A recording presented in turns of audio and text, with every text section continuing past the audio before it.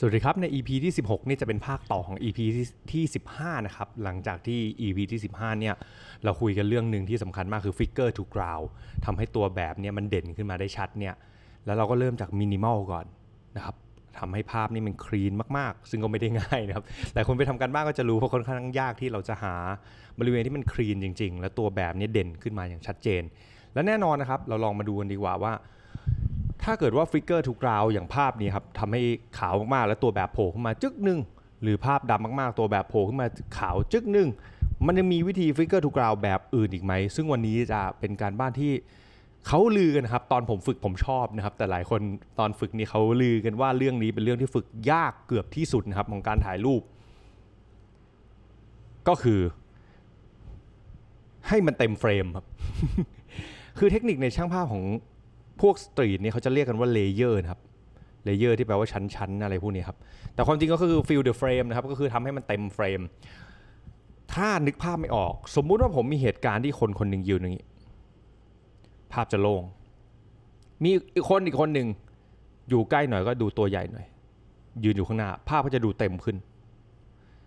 มีฉากหลังไกลๆเนี่ยเผอิญแถวๆนี้ ม้านดันมี หุ่นยนต์สับประหลาด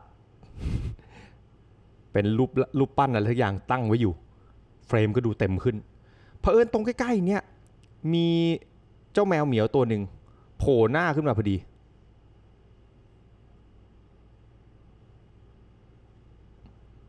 อ่าโผล่หน้าเข้ามาใน frame พอดีกำลังทำมืออ้อนอยู่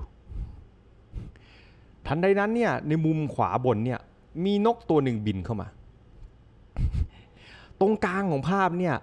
บังเอิญมากๆเลยบังเอิญสุด ๆ แล้วอันนี้ frame เป็น fill เป็นปกติมีหุ่นยนต์สัตว์ประหลาด มีพื้นที่คนอยู่มีอะไรก็ตามเพอเอิญตรงกลางภาคโชคดีมากๆเลยครับ มันด้านมีสมมุติเอาอะไรให้มันจริงๆดิ อันนี้เราจินตนาการเราสนุกสนุกนะครับ เออมันมีอยู่ดีๆมีมีลูกบอลล่วงลงมาจากฟ้า ใครเตะมาไม่รู้ ซึ่งซึ่งมันมีรูปสตรีทบางรูปเป็นอย่างนี้จริงๆนะครับล่วงลงมาเลย แมวก็อยู่ข้างหน้า แล้วมุมซ้ายตรงนี้เนี่ยบังเอิญอ่ามีอะไรดี มันมันก็จะดูเวอร์ไปหน่อยครับเผอิญมีมีคนอีกคนหนึ่งกำลังเดินเข้ามาในภาพพอดีกำลังก้าวเท้าเข้ามาเลย เข้ามาในภาพ ทุกคนก็จะเห็นเลยทันทีว่า ภาพนี่มันดูเต็มไปหมดเลย แล้วถ้าไม่นับแบบมีนกตัวด้านหลังอีกตัวหนึ่งมีคนอยู่แถวๆนี้มีหน้าเด็กโผล่มาครึ่งหนึ่งอะไรอย่างนี้ภาพมันจะเต็มมากๆครับ มันจะดูมีชั้น คือการถ่ายรูปเนี่ยต้องเข้าใจก่อนว่ามันเป็นการเก็บภาพ 2 มิติ คือเก็บของ 3 มิติให้มันอยู่ในภาพเหมือน 2 มิติ และใช้ความรู้สึกของเราทำให้รู้สึกว่ามันเป็น 3 มิติ ดังนั้นเนี่ยถ้าเกิดว่ามันมีความเป็น layer เนี่ยภาพมันจะดูมีมิติมากขึ้น ซึ่งการถ่ายรูปเป็น layer เนี่ยครับคุณสมบัติที่ 1 คือ ต้องพยายามไม่ให้มันซ้อนกันพอมันซ้อนกันมันก็จะบัง และภาพก็จะดูเป็น 2 มิติพอมันไม่ซ้อนเนี่ยหนึ่งก็ต้องไม่ซ้อนครับสองคือ layer มันจะมีพูดง่ายถ้าอยากให้เป็นภาพ 3 มิติ มันต้องมีแกน x แกน y แกน z อย่างนี้นะครับ แต่ถ้าคิดง่าย ๆก็คือ มีหน้ากลางหลัง ซ้ายกลางขวา ล่างกลางบน แล้วภาพจะดูมี 3 มิติลองดูนะครับ มีซ้ายมีกลางมีขวาหมดเลย มีล่างมีกลางมีบนอ่าบนมีหมดเลย มีหน้าแมวอยู่ข้างหน้าตัวมันดูใหญ่ มีหลังนกอยู่ข้างหลังดูตัวเล็กหุ่นยนต์ดูตัวเล็ก ๆ แล้วมีตรงกลาง เพราะฉะนั้นวิธีการถ่ายคือพยายามจัดทุกๆอย่างเข้ามาให้มันอยู่หน้ากลางหลัง ซ้ายกลางขวาล่างกลางบนโคตรยากเลยเพราะว่าทุกๆอย่างนี่มันขยับหมดเลย อาจจะมีบางสิ่งบางอย่างที่ไม่ขยับ ดังนั้นวิธีการฝึกอันแรกที่ง่ายสุดคือไปถ่ายภาพ layer ให้ figure to ground คือไม่บังกัน ให้มีซ้ายกลางขวา หน้ากลางหลังล่างกลางบน เป็นอะไรที่ไม่ต้องมีชีวิตก่อนก็ได้ครับ เราเอาของที่บ้านมาจัด เพราะฉะนั้นช่างภาพที่ถ่ายภาพพวกอาหารหรือเป็นพวกของต่างๆเนี่ยครับจัดวางเป็นพวก fine art วางของอะไรก็ตามเนี่ยเจ๋งมากครับเขาต้องเลือกวิธีการวางวางวางวางวางไงให้มันดูมี layer layer มากไปมันรกไปเปล่า layer น้อยไปเป็นไง นี่เรายังไม่ได้พูดกันถึงว่าสีต่างๆ ควรจะเป็นยังไงด้วยนะครับ เดี๋ยวมีตัวอย่างให้ดูนะครับ นี่คือการถ่าย layer ตัวอย่างแรกก็เจมเขายังไม่ค่อยมีเป็นภาพหนังสือนะครับ เจมอัสดังนะครับสุดๆนะครับ อันนี้ช่างภาพ Street Photo Thailand เหมือนกันนะครับ เจมนี่ผมเห็นน้องเขาถ่ายรูปด้วยมือถือครับสมัยก่อน เราไปถ่ายด้วยกันตั้งแต่เด็ก ๆ เจมขยันมาก เช่นเดิมนะครับ เจมถ่ายเยอะจริงๆ เจมเป็นคนที่ถ่าย layer ได้ดีมากครับ เพราะว่าจะเห็นเลยว่าภาพเขาเนี่ยมันจะมีใกล้ไกล มันจะมีบนล่างมันจะมีแบบความลึกแล้วสีก็ยังสวยด้วยครับอ่านี้เราเราลองดูนะเจมถ่ายหลายแบบนะครับ แต่ว่า layer ของเจมเนี่ยสวยมากครับนี่มีซ้ายนะครับ เดี๋ยวผมเดี๋ยวผมนี่มีซ้ายนะครับ มีกลาง มีขวา มีล่าง มีกลาง มีบน ภาพอยู่ลึกข้างในมีหมดเลยนะครับ อันนี้ก็เป็นตัวอย่างการถ่าย layer ที่มันมากครับ อันนี้ข้างบนจะโล่งไป แต่ก็สวยครับ เพราะข้างหน้ามันเด่นมาก สีมันสวยมาก คือคือต้องเข้าใจว่าภาพทุกภาพเนี่ยมันไม่ perfect อยู่แล้ว มันยากมากที่มันจะperfect แต่เพราะความไม่ perfect เราก็เลยรู้ว่าเออมันเป็นการถ่ายที่สนุกมากครับนี่เห็นไหมครับหน้าจะอยู่ชัดมากมีซ้ายมีขวามีล่างมีกลางมีบนถ่าย layer layer ถ่ายจะมันมากถ้าคนเยอะๆครับ ไปสถานที่ที่มันมีงานหรืออะไรเงี้ยจะสนุกมาก แต่แน่นอนนะครับการถ่ายคนเนี่ยหรือสิ่งมีชีวิตที่ขยับเนี่ย มันจะจัด frame ยากมาก งั้นเดี๋ยวจะสอนวิธีจัด frame ด้วยนะครับว่า เราจะจัด frame กันยังไงดี ถ้าเกิดว่าเหตุการณ์ที่เป็น layer มันยากมากขนาดนี้ครับ โอ้โหเนี่ยเต็มไปหมดเลยครับเนี่ย นี่ figure to ground นะครับ เห็นมาว่า layer จริง ๆ จะให้เห็นชัดมันต้องมี figure to ground ให้มันเด่นเนี่ยครับ เสื้อขาวในฉากดำเงาดำในฉากขาวเนี่ยครับนี่เห็นไหมครับนี่ layer เต็มไปหมดเลยครับ นี่เจมเขาถ่ายหลายแนวครับ มีทั้ง ทุกๆ แบบมีทั้ง layer มีทั้งเป็นมินิมอลเนี่ยครับ figure to ground เจ๋งมากเลยนะสองคนเด่นโผล่ขึ้นมาเลยอ่านี่นี่ครับลองดูได้ เป็นเทคนิคที่สุดยอดเหมือนกันครับ นี่เจมสุดๆนะครับผมไม่ค่อยได้เล่นอินสตาแกรมขอโทษด้วย นี่ก็เป็นตัวอย่างหนึ่งที่เจ๋งมากคำถามคือ แล้วเวลาถ่ายเนี่ยทำไงดีเพราะคนมันขยับเต็มไปหมด อย่าลืมนะครับ เวลาเราขยับเนี่ย การที่ทำให้วัตถุในเฟรมเราขยับมีอยู่ 2 วิธี 1. ขยับกล้องเอากล้องขยับเลย ผมได้ถึงติ้งตั้งต้องตั้งขาตั้งกล้องไว้เพราะผมไม่อยากให้กล้องขยับ 2. แบบมันขยับ ดังนั้นเนี่ยถ้าสมมุติผมถ่ายรูปอย่างนี้ และผมต้องการให้ภาพสมมุติว่าผมจะถ่ายของชิ้นหนึ่งอาถ่ายคนที่อยู่ในกล้องนี่ครับผมต้องการจะถ่ายเพื่อให้มันแบบเฮ้ย มันพอดีเนี่ยทำยังไงดี วิธีการก็คือสมมติผมเปิดตัวนี้มันเสียแล้วทำให้ทำให้เหมือนถ่ายเลยกันเห็นเฟรมวิธีการมีหลาย ๆ วิธีครับ วิธีหนึ่งก็คือ สมมุติว่าผมอยากให้อยู่กลาง แล้วเผอิญว่ากล้องมาขยับไปทางขวางผมซ้ายของอันนี้นะครับ วิธีการคือผมก็ขยับไปทางนี้ เพื่อให้มันอยู่กลางเหมือนเดิม ดังนั้นเนี่ยอีกวิธีหนึ่งที่ง่าย ๆ ก็คือเราก็ขยับเองพอเราขยับเองเกิดอะไรขึ้น ความง่ายมันก็คือ สมมุติว่าเราตั้งโฟกัสไว้ auto focus ก็ได้นะครับ manual focus ก็ได้ manual focus นี่อาจจะคล่องกว่าด้วยความจริงถ่าย layer เนี่ยสมมุติว่าผมล็อกโฟกัสไว้ที่อัน แล้วเผอิญว่าตัวกล้องเนี่ยอันนี้แล้วกันนะผมล็อกโฟกัสไว้ที่รูปอันนี้ ล็อกไว้ปุ๊บ เผอิญรูปอันเนี้ยมันถอยไปทางซ้าย ซึ่งมันไกลขึ้น วิธีการของผมคือผมเดินเข้าไปก้าวหนึ่งมันจะโฟกัสระยะเท่าเดิมพูดง่ายๆคือภาพมันก็ยังชัดเหมือนเดิมครับ วิธีการโฟกัสมี2 อย่างปรับที่กล้องกับปรับที่ตัวเราเดินไปเดินมา เพราะฉะนั้นไม่ต้องกังวลครับ ถ้าเราเดินได้เราก็เดินตามเดินนู่นเดินนี่จังหวะดีๆเขาค่อยๆโยกซ้ายโยกขวาขยับทีนิดให้มัน smooth ครับไม่ต้องขยับไปตุ๊กตักตุ๊กตักเดี๋ยวแบบเขาตกใจอะไรอย่างเงี้ยเราค่อยๆขยับค่อยๆขยับถ่ายงาน wedding อย่างเงี้ยครับก็ ใช้เหมือนกันนะครับ เดี๋ยวผมลองเปิดงาน wedding บางงานดูว่าการถ่าย layer เนี่ยมันสุดขนาดไหนนะครับพี่ทินครับ พี่ทินน่าจะใช้อ่าเหมือนเดิม ตักประสิทธิ์นะครับ สุดๆครับ พี่ทินเป็นคนถ่าย wedding เจ๋งมากครับ นี่เป็นตัวอย่างหนึ่งสุดๆเลยครับ เห็นไหมครับ layer เราไม่ต้องจริงจังขนาดต้องมีแบบ ทุก ๆ อย่างขนาดนั้นก็ได้นะครับ บางทีมันมันเต็มเฟรมแล้วมันล้นไปหรือเปล่าอะไรเงี้ยลองไปดูในเว็บพี่ทินได้นะครับพี่ทินเว็บสวยมากครับอันนี้ผมเปิดให้ดูคร่าวๆนี่เนี่ยครับ มีกลางมีบนมีอะไรอย่างนี้ แล้วก็จะมีคนถามว่าถ้าผมเปิดด้วยรูรับแสงที่มันไม่ได้ชัดทั้งภาพจะมีปัญหาไหมนี่เป็นตัวอย่างภาพที่ดีมากครับ จะสังเกตว่าข้างหน้าของภาพเนี่ยครับ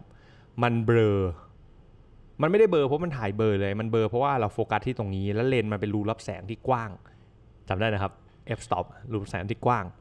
ดังนั้นมันจะไปชัดแถวๆตรงนี้ ข้างหลังก็เบลอ แต่เห็นไหมครับ เราจะเห็นความเป็นแบบ mood ของภาพอยู่ดี คือคือมันไม่ได้เบลอจนดูไม่รู้เรื่องว่าเป็นอะไรครับ ว่าเห็นอ่ามี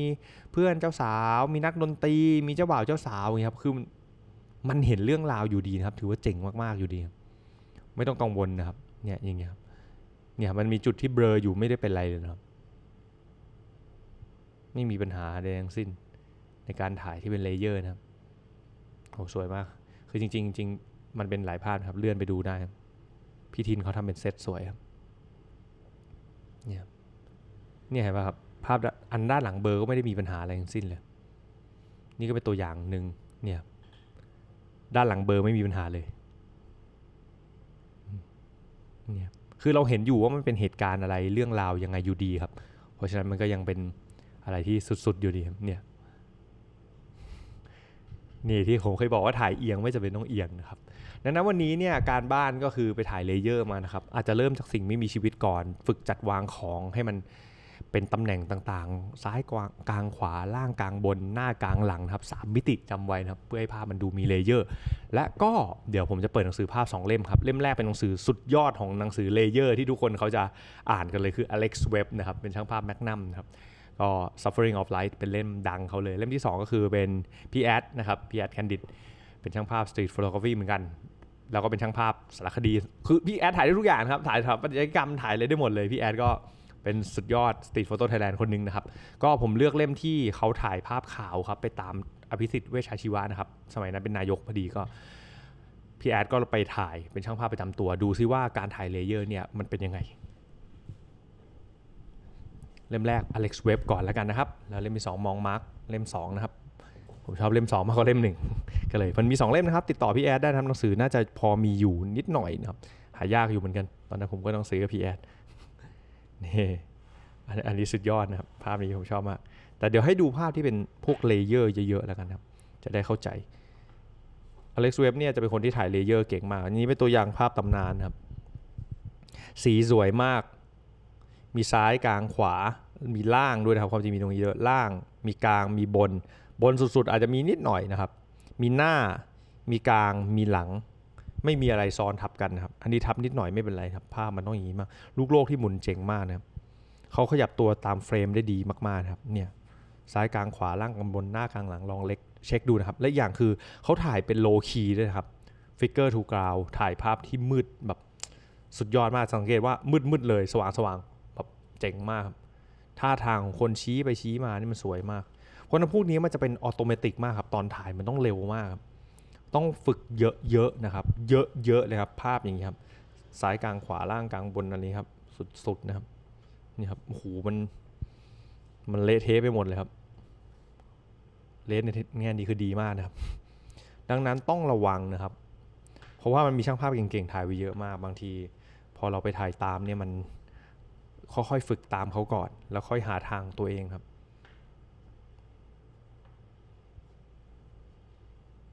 คือสุดท้ายเราก็ต้องหาแนวทางของตัวเองครับ แต่ตอนนี้เราฝึกทุก ๆ อย่างนะครับเป็นสิ่งที่สำคัญกว่า นี่ครับ โอ้โห สุด ๆ ทั้งนั้นนะAlex Webb เนี่ย คือเขามีหลายแนวมากครับ ภาพหนังสือภาพเขาแต่ว่าเขาเด่นเรื่อง layer เขาเป็นคนถ่าย layer เก่งนะครับในหลายเล่มแต่ว่า ไม่ใช่ว่าถ่ายอย่างอื่นไม่เก่งนะครับ เขาถ่ายได้หมดนะเนี่ยถ่าย mood and tone ก็ถ่ายได้ดี layer มันจะอยู่หน้าแรกๆครับ หลังๆ มันจะมันเป็น mood and tone เยอะกว่าเนี่ยถ่ายถ่ายหลาย ๆ แบบครับ เล่มนี้เป็นเล่มแบบรวมทุกเล่ม เพราะฉะนั้นเล่มนี้ก็เป็นเล่มหนึ่งที่ must have นะครับ ซื้อทีได้ดูทุกอย่าง Suffering of Light อีกเล่มนะครับ ก็เวชชีวะนะครับ มองมาร์กนะอ๋อ ตอนนั้นเป็นหัวหน้าพรรคประชาธิปัตย์นะครับ เดี๋ยวผมเปิดให้ดู ว่านี่ครับนี่ก็เป็น layer หนึ่งเหมือนกันนี่เห็นไหมครับเบลอแต่เรารู้ว่ามันเกิดอะไรขึ้นเดี๋ยวผมจะให้ดู มันมีเรื่องราวมี story อะไรอย่างนี้แต่ว่าตัวรูปที่ประกอบเนี่ยจะเห็นเลยว่า เน้นไปที่คุณอภิสิทธิ์ก็จริง แต่ว่ามันจะมีรูปที่มีคนอยู่เยอะๆที่ต้องเป็น layer อย่างนี้ต้องเข้าใจว่าเนี่ยครับสะท้อนที่อยู่ในกระจกด้วยทำให้ภาพดูมีมิติมากขึ้นเนี่ยครับ ข้างหน้าที่เบลอไม่มีปัญหานี่ ซ้ายกลางขวาหน้ากลางหลังล่างกลางบน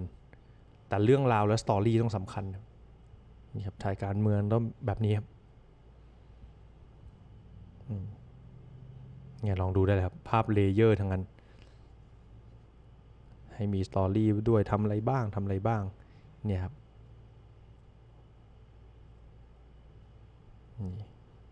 นี่ จะเห็นเลย